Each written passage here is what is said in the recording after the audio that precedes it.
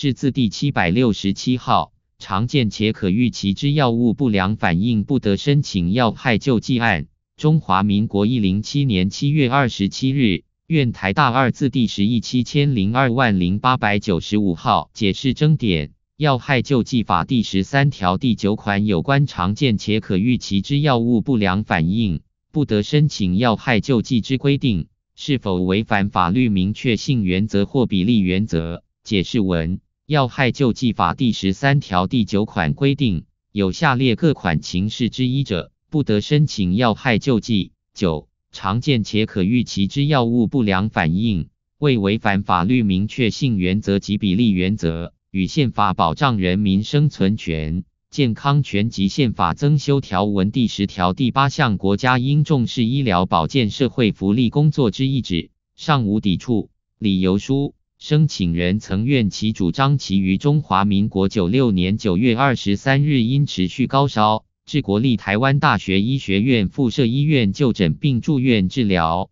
住院期间经诊断为弥漫性非结核分歧杆菌及恶性淋巴瘤。使用含 amikacin 成分药品艾霉素 amikin 治疗产生听力丧失之耳毒性药物不良反应，于九十七年一月十四日经医师诊断为双侧听力丧失，诊断证明书记载双侧感觉神经性听力丧失，药物成分 amikacin 造成。九十八年八月十三日，经鉴定为重度听障及中度智障。四于九十八年十月十二日申请要害救济，经改制前行政院卫生署要害救济审议委员会，现改制为卫生福利部要害救济审议委员会。九十九年六月八日第一百二十八次会议审议，不符合要害救济之要件。行政院卫生署以九十九年七月六日属受实字第九亿九千一百四十万八千七百五十六号书函，下称原处分，简送审议结果及会议记录，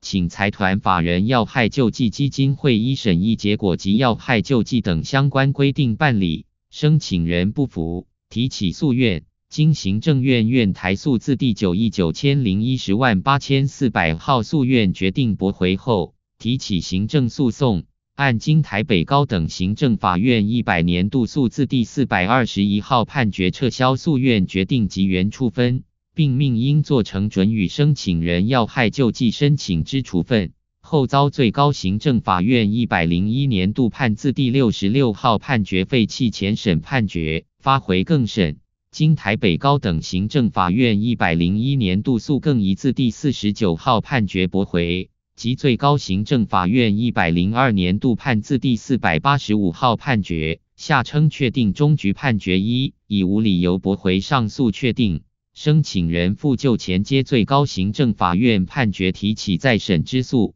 经最高行政法院一百零二年度判字第七百八十号判决下称确定终局判决二，已无理由予以驳回。申请人认确定终局判决一。二所适用之药害救济法第十三条第九款规定，有下列各款情事之一者，不得申请药害救济。九、常见且可预期之药物不良反应，下称系征规定，排除正当使用合法药物，却因常见且可预期不良反应而受有药害之人获得救济，未受规范人民所无从预见，违反法律明确性原则。亦欠缺合理立法目的及正当性，与比例原则有违，并抵触宪法第二十二条及宪法增修条文第十条第七项、第八项规定，向本院申请解释宪法和与司法院大法官审理案件法（下称大审法）第五条第一项第二款所定要件相符，应予受理。原作成本解释理由如下：国家应重视社会救助、福利服务。社会保险及医疗保健等社会福利工作，对于社会救助等救济性支出，应优先编列。宪法增修条文第十条第八项定有明文：国家所采取保障人民健康与医疗保健之社会福利救济措施，原有多端，为使正当使用合法药物而受害者获得及时救济，要害救济法第一条参照原设置要害救济制度，对于受要害者。于合理范围内给予适当补偿，及其事例，亦与宪法保障人民生存权及健康权。本院是自第七百五十三号解释参照之意旨相符。法律明确性之要求，非仅指法律文义具体详尽之体例而言。立法者于立法定制时，仍得衡着法律所规范生活事实之复杂性及适用于个案之妥当性，从立法上适当运用不确定法律概念而为相应之规定。依本院历来解释，如法律规定之意义，自法条文义。立法目的与法体系整体关联性观之，非难以理解。个案事实是否属于法律所欲规范之对象，为一般受规范者所得预见，并得经由司法审查加以确认，即无违反法律明确性原则。本院是自第五百九十四号、第六百一十七号及第六百九十号解释参照，系征规定所谓常见且可预期之药物不良反应。系数不确定法律概念，常见、可预期之意义，依据一般人民日常生活与语言经验，尚非难以理解。而药物不良反应于《药害救济法》第三条第四款亦已有明确定义。又一般受规范者及病人及其家属，依细征规定，纵无法完全确知其用药行为是否符合请求药害救济之要件，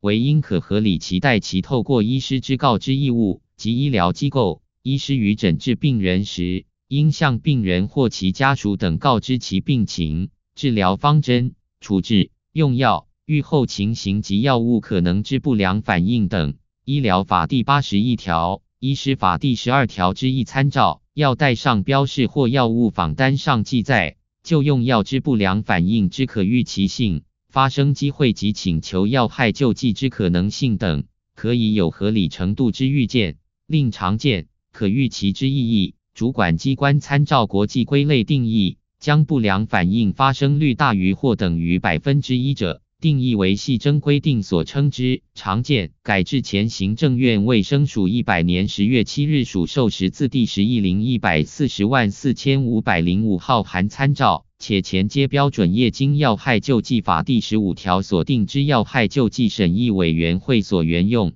于实务上已累积诸多案例可供参考，视其意义于个案中，并非不能经由适当组成之机构依其专业知识加以认定及判断，且最终可由司法审查予以确认。综上，系征规定与法律明确性原则上无不合。本院解释对于社会政策立法，因其涉及国家资源之分配，向来采取较宽松之审查基准。本院是自第四百八十五号及第五百七十一号解释参照，关于要害救济之给付对象、要件及不予救济范围之事项，属社会政策立法。立法者自得斟酌国家财力资源之有效运用及其他实际状况，为妥适之规定，享有较大之裁量空间。查细征规定将常见且可预期之药物不良反应完全排除于的申请要害救济范围之外。系基于要害救济基金之财务平衡、有限资源之有效运用，及避免药商拒绝制造或输入某些常见且可预期有严重不良反应，但确实具有疗效药品之考量。卫生福利部一百零四年三月二十六日不授时字第十亿四千一百四十万零六百零七号函参照，其目的寻属正当。另因药物之药理机转本身即具有一定之可预期风险，且如前所述，透过医师之告知、药袋上标示或药物访单上记载，病人及家属可有合理程度之预见。基于风险分担之考量，细征规定将常见且可预期之药物不良反应排除于药害救济范围之外，有助于前开目的之达成，并无显不合理之处，与比例原则无违。是细征规定与宪法保障人民生存权、健康权及宪法增修条文第十条第八项国家应重视医疗保健社会福利工作之意旨，尚无抵触。莫查对常见且可预期之药物不良反应，细征规定不给予药害救济，系应考量病人及其家属对药物不良反应之发生机会，已有合理程度之预见可能，而作出承担风险之自主决定。则系征规定与解释适用上，有关机关构亦应确认使用药物时，病人及其家属的经医疗专业人员充分告知或阅读药袋、访单之记载后，于合理程度内有预见该药物存有常见且可预期不良反应之药害之可能，自属当然。又查系征规定，故与宪法尚无违背，为相关机关仍应需衡医药产业整体发展趋势、药害救济制度之公益及永续性。与社会衡平原则及社会补偿合理性等情势，适时检讨系征规定有关要害救济给付之不予救济要件，且不应过度扩张要害不予救济之范围，阻绝受要害者寻求救济之机会。又申请人所主张系征规定违反宪法增修条文第十条第七项规定部分，经核与系征规定无涉，均并此指明。申请人另主张改制前行政院卫生署一百年十月七日署授时字第十亿零一百四十万四千五百零五号函，因违反法律明确性原则而有违宪疑义部分，尚难为以具体指摘客观上有何抵触宪法之处。此部分申请和与大审法第五条第一项第二款规定不符，依同条第三项规定，应不受理。